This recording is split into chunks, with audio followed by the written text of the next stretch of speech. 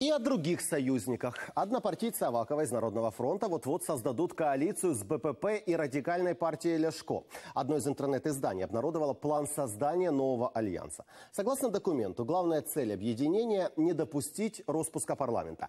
Коалиция создается с долгосрочным прицелом к выборам 2019 года. И будущие коалицианты вовсю делят посты. Отдельной строкой прописаны риски радикалов. Так, к вступлению в союз они готовы только после подписания соглашения с МВФ дабы не портить имидж пенсионной реформой или нормой о продаже земли.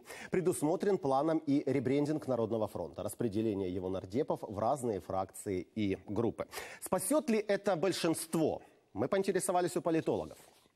За счет привлечения э, радикальной партии, очевидно, э, попытаются найти э, вот этот новый э, политический баланс с прицелом на то, чтобы избежать досрочных парламентских выборов. Однако этот выигрыш, эта победа может оказаться первой. То есть, а выигрыш весьма сиюминутным. Участие в этой коалиции, оно может оказаться фатальным для радикальной партии. С другой стороны, оно не, никуда не исчезает политический кризис. И, как знать, возможно, выборы как раз бы явились тем клапаном, который выпустил бы пар социального и политического напряжения. И э, может так обернуться, что даже создав эту коалицию, э, рассуждая о своем будущем, ну, э, участники, коалицианты нынешние рискуют его потерять.